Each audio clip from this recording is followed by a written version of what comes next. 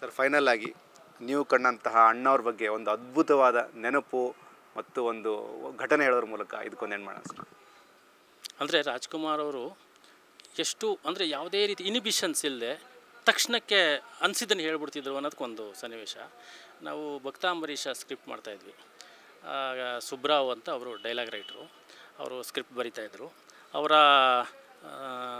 ತಂಗಿ ಮಗ ಒಬ್ಬ ವೆಂಕಟೇಶ್ ಅಂತ. ಅವನು ನಾನು ನೋಡೋದಕ್ಕೆ ಹೈಟು, ವೆಯ್ಟು, ಕಲರು ಒಂದೇ ಥರ ಇದ್ವಿ. ಅವನು ಅಸಿಸ್ಟೆಂಟ್ ಡೈರೆಕ್ಟ್ರಿಗೆ ಅವ್ರ ಅಣ್ಣ ಅವರ ಮಾವನ ಜೊತೆ ಬರ್ತಾಯಿದ್ದ ಅದರಲ್ಲಿ ದೇವಕುಮಾರರು ಅಂತ ಎರಡು ಪಾತ್ರ ಬರುತ್ತೆ. ಒಂದು ಆ ಮುಖ್ಯಮಂತ್ರಿ ಚಂದ್ರು ಅವರು ಒಂದು ಘಂಟಾಘೋಷ ಅಂತ ಒಂದು ಪಾತ್ರ ಮುಖ್ಯಮಂತ್ರಿ ಚಂದ್ರು ಅವ್ರು ಮಾಡಬೇಕಾಗಿತ್ತು. ಸ್ವಲ್ಪ ನೆಗೆಟಿವ್ ಶೇಡ್ ಕ್ಯಾರೆಕ್ಟ್ರು ಅವ್ರನ್ನ ಗೋಳು ಇಕ್ಕೊಳ್ಳೋದಕ್ಕೆ ಇಬ್ಬರು ದೇವತಾ ಕುಮಾರರು ಅಂತ ಬರ್ತಾರೆ. ಆ ದೇವತಾ ಕುಮಾರ್ ಒಂದು ಒಂದು ಸೀನ, ಎರಡು ಸೀನ ಇದೆ. ಇವನು ವೆಂಕಟೇಶ್ ಏನು ಮಾಡ್ಬಿಟ್ಟಿದ್ದಾನೆ ಅವ್ರ ಮಾವನಿಗೆ ಮಾವ ನಾ, ಈ ಕ್ಯಾರೆಕ್ಟರ್ಗಳನ್ನ ನಾನು ಪ್ರಕಾಶ್ ಮಾಡ್ತೀವಿ ಅಂತ ಹೇಳ್ಬಿಟ್ಟವ್ರೆ. ನನಗೆ ಗೊತ್ತಿಲ್ಲ ಅದು. ಗೊತ್ತಿಲ್ಲದೆ ಇದ್ದರೆ ಸರಿ, ಅದು ಆಯಿತು ಆಯಿತು ಮಾಡಿ ಅಂತ ಅವರು ಹೇಳ್ಬಿಟ್ಟವ್ರೆ. ಸೊ ಡೈಲಾಗ್ ರೀಡಿಂಗ್ ನಡೀತಾ ಇತ್ತು. ಡೈಲಾಗ್ ರೀಡಿಂಗ್ ನಡಿಬೇಕಾದ್ರೆ ಆ ಸೀನ್ ಬಂತು. ನಾನು ಈ ಕಡೆ ಕೂತಿದ್ದೆ, ವೆಂಕಟೇಶ್ ಆ ಕಡೆ ಕೂತಿದ್ರು, ಇವ್ರು ಓದ್ತಾ ಇದ್ರು, ಎದುರುಗಡೆ ಅಣ್ಣವರು, ವರ್ಧನ ಕೂತಿದ್ರು. ಇವರು ಆ ಸೀನ್ ಓದ್ತಾ ಓದ್ತಾ ನನ್ನೊಂದು ಸತಿ ಆ ವೆಂಕಟೇಶನ ಸತಿ ನೋಡ್ಬಿಟ್ಟು ನಕ್ಕರು ಯಾರು ಸುಬ್ರಾವ್ ಅವರು. ಅದಕ್ಕೆ ಎದುರುಗಡೆ ಅಣ್ಣವ್ರಂದರು ಏನದು, ಏನು ಹಾಂ ಅದು ಅವ್ರಿಗೆ ತಕ್ಷಣ ಏನೋ ಗೊತ್ತಾಯಿತು. ಅಲ್ಲ, ಏನಿಲ್ಲ ಅಣ್ಣಯ್ಯ, ಈ ಎರಡು ಪಾತ್ರಗಳನ್ನು ನಮ್ಮ ವೆಂಕಟೇಶು ಮತ್ತು ನಮ್ಮ ಪ್ರಕಾಶು ಮಾಡಬೇಕು ಅಂತ ಆಸೆ ಪಡ್ತಿದ್ದಾರೆ ಅಂತ ಅಂದರು. ತಕ್ಷಣ ಅಣ್ಣವರು, ಇವ್ರು ಕಲಾವಿದ್ರ, ಇವ್ರಿಗೆ ಆಗ ಹಾಂ ಹಂಗೆ ಯೋಚನೆ ಮಾಡಲಿಲ್ಲ. ಹೌದಾ? ನೀವು ಮಾಡಬೇಕು ಅಂತ ಆಸೆ ಪಡ್ತೀರಾ? ಹಾಗಾದರೆ ಸರ್, ಒಂದೆರಡೆರಡು ಮಾತು ಹೆಚ್ಚಿಗೆ ಬರೀರಿ. ನನಗೆ ಅಂದರೆ ಒಬ್ಬ ಕಲಾವಿದ ಇವ್ರು, ಇವ್ರಿಗೆ ಆ ಪಾತ್ರ ಮಾಡೋಕೆ ಏನು ಆ ಥರದ್ದು ಯಾವುದೇ ರೀತಿಯಾದ ಮು- ಒಂದು ಗೊಂದಲ ಏನೂ ಇಲ್ಲ. ನೀವು ಪಾತ್ರ ಮಾಡ್ತೀರಾ? ಸರ್ ಒಂದೆರಡು ಎರಡು ಮಾತು ಜಾಸ್ತಿ ಬರೀರಿ ಅಂದರು. ನಮಗೆ ಅವಾಗ ಅಂದರೆ ಆ ನಿಷ್ಕಲ್ಮಶವಾದ ಒಂದು ಆ ಕ್ಷಣದ ರಿಯಾಕ್ಷನ್ ಇದೆಯಲ್ಲ, ಅಯ್ಯೋ, ದಟ್ ಈಸ್ ರಾಜ್ಕುಮಾರ್. ಸರ್, ನಿಮ್ಮ ಮಾತಲ್ಲಿ ನನಗೊಂದು ಮತ್ತೊಂದು ಪ್ರಶ್ನೆ ಹುಡುಕಿದ್ರಿ ನೀವು. ಭಕ್ತ ಅಂಬರೀಷ ಆ್ಯಕ್ಚುಲಿ ದೊಡ್ಡ ಮಟ್ಟದ ಪ್ರಾಜೆಕ್ಟ್ ಸರ್ ಅದು. ಅದು ಯಾಕೆ ಸರ್ ಅದು ಟೇಕ್ ಆಫ್ ಆಗಲಿಲ್ಲ? ಅದ್ರ ಬಗ್ಗೆ ಇನ್ಫಾರ್ಮೇಷನ್ ಇದೆಯಾ? ಭಕ್ತ ಅಂಬರೀಷ ಹಾಡುಗಳ ಧ್ವನಿ ಮುದ್ರಣ ಎಲ್ಲ ಆಗಿದೆ. ಇನ್ನೇನು ಶೂಟಿಂಗ್ ಹೋಗೋಕ್ಕೆ ಅಂತ ಫಿಕ್ಸ್ ಆಗಿ ಈ ಹಿಮಾಲಯದಲ್ಲಿ ಒಂದಷ್ಟು ಶೂಟಿಂಗ್ ಮಾಡಬೇಕಾಗಿತ್ತು. ಮಂಜಿನ ಮಂಜುಗಡ್ಡೆ ಜೊತೆ. ಅಂದರೆ ಒಂದು ಫೈಟು ಒಂದು ಸಾಂಗು ಒಂದಷ್ಟು ಸೀನ್ಗಳು ಎಲ್ಲ ಇತ್ತು. ಫಸ್ಟ್ ಅದರ ಶೂಟಿಂಗ್ ಮಾಡ್ಬಿಡೋಣ ಅಂತ ಹೇಳಿ ಈ ಕಡೆ ಸಾಂಗ್ ರೆಕಾರ್ಡಿಂಗ್ ಶುರುವಾಯಿತು. ಆ ಕಡೆ ನಮ್ಮ ರಘುನಂದನ್ ಅಂತ ಒಬ್ಬರು ಅಸೋಸಿಯೇಟ್ ಡೈರೆಕ್ಟರ್ ಇದ್ದಾರೆ. ಅವರು ಮ್ಯಾನೇಜರ್ ಕೆಲಸ ತುಂಬ ಚೆನ್ನಾಗಿ ಮಾಡ್ತಾರೆ. ಅವ್ರನ್ನ ಅಲ್ಲಿ ಕಳಿಸಿದ್ವಿ. ನೋಡಿಕೊಂಡು ವಾತಾವರಣ ನೋಡಿ ಫೋನ್ ಮಾಡಿ ಅಂತ. ಅವ್ರು ಅಲ್ಲೇನಾಗ್ಬಿಟ್ಟಿತ್ತು. ಅದು ಸರ್ ಇಲ್ಲ ಐಸ್ ಎಲ್ಲ ಹೊರ್ಟೋಗ್ಬಿಟ್ಟಿದೆ, ಇವಾಗ ಫುಲ್ ಗ್ರೀನ್ ಬಂದ್ಬಿಟ್ಟಿದೆ ಅಂತ ಅಲ್ಲಿಂದ ಫೋನ್ ಮಾಡಿದ್ರು.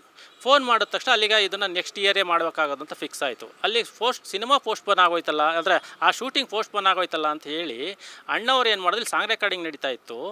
ಅವ್ರು ಗಾಜ್ನೂರಲ್ಲಿ ಬಾವಿ ತೆಗ್ಸಿದ್ರು, ನೀರು ಬಂದಿತ್ತು. ಪಾರ್ವತಮ್ಮನವ್ರು ಹೋಗಿ ಅಲ್ಲೆಲ್ಲ ಪೂಜೆ ಎಲ್ಲ ಮಾಡಿಕೊಂಡು ಅವ್ರ ತೋಟದಿಂದ, ಗ, ಬಾವಿಯಿಂದ ಒಂದು ಒಂದು ಬಿಂದಿಗೆ ನೀರು ತಗೊಬಂದು ನಮಗೆಲ್ಲ ತೀರ್ಥ ಥರ ಕೊಟ್ಟು ಕುಡಿಸಿದ್ರು. ಬಟ್ ರಾಜ್ಕುಮಾರ್ ಅವ್ರಿಗೆ ಏನಿಸ್ತು ಹೆಂಗಿದ್ರು ಶೂಟಿಂಗ್ ಪೋಸ್ಟ್ಪೋನ್ ಆಯ್ತಲ್ಲ? ಬನ್ನಿ ಗಾಜ್ನೂರ್ಗೆ ಹೋಗಿ ಬಂದ್ಬಿಡೋಣ ಅಂತ ಹೊರಟರು. ನಾನು ಆ್ಯಕ್ಚುಲಿ ಆಕಾಶ ಆಡಿಯೋದಲ್ಲಿ ಸಾಂಗ್ ರೆಕಾರ್ಡಿಂಗ್ ನಡೀತಾ ಅಲ್ಲಿಗೆ ಬಂದರು. ನೀವು ಬನ್ನಿ ಅಂತ ಕರೆದ್ರು ನನ್ನ. ನನಗೆ ಪ್ರಿಪ್ರೇಷನ್ ಇಲ್ಲ, ಬಟ್ಟೆ ಇಲ್ಲ, ಬರೀ ಇಲ್ಲ, ಏನಿಲ್ಲ. ಅಣ್ಣ ನನಗೆ ಏನು ನಂಗೆ ಗೊತ್ತಿಲ್ವಲ್ಲ ಅಣ್ಣ. ನಾಳೆ ಬರ್ತೀನಿ ಅಂದ್ಬಿಟ್ಟು ನಾನು ನಮ್ಮೂರು ಅಲ್ಲೇ ಪಕ್ಕದಲ್ಲಿ ಚ ಮೇಗ್ಲುಂಡಿ ಅಂತ. ಸರಿ, ನಾನೇನು ಮಾಡಿದೆ, ಮನೆಗೆ ಹೋಗಿ ಬಟ್ಟೆ ಎಲ್ಲ ತಗೊಂಡು ನಮ್ಮೂರಲ್ಲಿ ಹೋಗಿ ಸ್ಟೇ ಆದೆ. ಬೆಳಿಗ್ಗೆಗೆ ಅಲ್ಲಿ ಹೋಗೋಣ ಅಂತ. ಗಾಜನೂರ್ಗೆ ಹೋಗೋಣ ಅಂತ. ಬೆಳಿಗ್ಗೆ ನಾನು ಬಸ್ ಹತ್ತುತ್ತಾ ಇದ್ದೀನಿ. ನನ್ನ ಫ್ರೆಂಡ್ ಒಬ್ಬ, ಏ ಎಲ್ಲಿ ಹೋಯ್ತದೆ? ನಡೆ. ಈಗ ರಾಜ್ಕುಮಾರ್ನ ವೀರಪ್ಪನ ಕಿಡ್ನಾಪ್ ಮಾಡ್ಬಿಟ್ಟು ಕಣ. ಈಗ ಬಸ್ಸುಗಾರು ಏನೂ ಇಲ್ಲ. ಎಲ್ಲ ಎಲ್ಲ ಬಂದಾಗ್ಬಿಟ್ಟದೆ ಅಂತಂದು ಆವಾಗ ನಂಗೆ ಶಾಕ್ ಆಗಿತ್ತು. ನೋಡಿ ಸರ್ ಹಂಗಾಗಿ ಭಕ್ತ ಅಂಬರೀಷ ಸಿನಿಮಾ ಆಮೇಲೆ ವೀರಪ್ಪನ ಆಯಿತು ಸ್ವಲ್ಪ ಆರೋಗ್ಯ ಹದಗೆಡ್ತು ಮಾನಸಿಕವಾಗಿ ಅವ್ರಿಗೆ ಅದ್ರ ಬಗ್ಗೆ ಆಸೆ ಹೊರಟೋಯ್ತು. ಸೊ ಹಾಗಾಗಿ ಭಕ್ತ ಅಂಬರೀಷ ಸಿನಿಮಾ ಆಗಲಿಲ್ಲ. ಸರ್ ಫೈನಲ್ ಫೈನಲ್ ಆಗಿ ಅಣ್ಣವ್ರನ್ನ ನೀವು ಕೊನೆಯ ಸಮಯದಲ್ಲಿ ಭೇಟಿಯಾದಂಥದ್ದು ಏನಾದ್ರು ನೆನಪಿದ್ರೆ ಹಂಚ್ಕೋಬೋದಾ? ನಾವಾಗ ಅರಸು ಸಿನಿಮಾ ಮಾಡ್ತಾಯಿದ್ವಿ ಜ ಅಣ್ಣವ್ರದ್ದು ಇದರಲ್ಲಿ.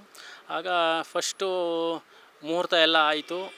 ಮುಹೂರ್ತ ಆಗಿ ಇನ್ನೇನು ಸಿನಿಮಾ ಶೂ, ಅಂದರೆ ಪ್ರೀ ಪ್ರೊಡಕ್ಷನ್ನು ಕತೆ ಎಲ್ಲ ಓಕೆ ಆಯಿತು, ಸಿನಿಮಾ ಶೂಟಿಂಗ್ ಶುರು ಆಗಬೇಕು. ಅಷ್ಟರಲ್ಲಿ ವರದಣ್ಣವ್ರು ತೀರೋಗ್ಬಿಟ್ರು. ವರದಣ್ಣವ್ರು ತೀರೋಗ್ಬಿಟ್ಟು ಇನ್ನು ತಿರ್ಗಾ ಒಂದು ಎರಡು ಮೂರು ತಿಂಗಳು ಸಿ ಒಂದು ಸಿನಿಮಾ ನಿಂತೋಯ್ತು. ನಿಂತೋಗಿ ಮತ್ತೊಂದು ತಿಂಗಳ ತಿಥಿ ಅದೆಲ್ಲ ಆದಮೇಲೆ ಶೂಟಿಂಗ್ ಶುರುವಾಯಿತು. ಶೂಟಿಂಗಿಗೆ ಎಲ್ಲ ಪ್ರಿಪ್ರೇಷನ್ ಶುರುವಾಯಿತು. ಪ್ರಿಪ್ರೇಷನ್ ಶುರುವಾದಾಗ ಅಣ್ಣ ಅವರು ಪ್ರೆಸ್ ಮೀಟ್ ಕೂಡ ಮಾಡಿದ್ವಿ. ಮುಹೂರ್ತ ಮಾಡಿ ಪ್ರೆಸ್ ಮೀಟ್ ಕೂಡ ಮಾಡಿದ್ವಿ. ಮಾಡಿಬಿಟ್ಟು ಅಣ್ಣ ಅವರು ಆಗ ಸಿನಿಮಾ ಬಗ್ಗೆ ಏನು ಮಾತಾಡಲಿಲ್ಲ. ಅವ್ರ ತಮ್ಮನ ಬಗ್ಗೆ ಮಾತಾಡಿದ್ರು. ಏನಂತ ಮಾತಾಡಿದ್ರು? ನಾವೆಲ್ಲರೂ ಹೋಗಬೇಕಾದ್ರೆ ವರದಪ್ಪ ಫಸ್ಟು ಅಲ್ಲಿಗೆ ಹೋಗ್ಬಿಡೋನು. ಹೋಗಿ ಅಲ್ಲೆಲ್ಲ ವಾತಾವರಣ, ಏನು ತೊಂದರೆ ಇಲ್ಲ ಅಂತ ಎಲ್ಲ ಗೊತ್ತಾದ ಮೇಲೆ ನಮಗೆ ಕರೆ ಕಳಿಸೋನು. ಏನು ತೊಂದರೆ ಇಲ್ಲ ಬಾಪ ಅಂತ. ಈಗಲೂ ಹಾಗೆ ಮೇಲೆ ಹೋಗಿದ್ದಾನೆ. ಅಲ್ಲೆಲ್ಲ ವಾತಾವರಣ ನೋಡ್ತಾ ಇದ್ದಾನೆ. ಎಲ್ಲ ಸರಿಯಾದ ಮೇಲೆ ನನಗೆ ಕಾರ್ಯ ಕಳಿಸ್ತಾನೆ. ನಾನು ಅಲ್ಲಿ ಹೋಗೋದಕ್ಕೆ ರೆಡಿಯಾಗಿದ್ದೀನಿ ಅಂದರು.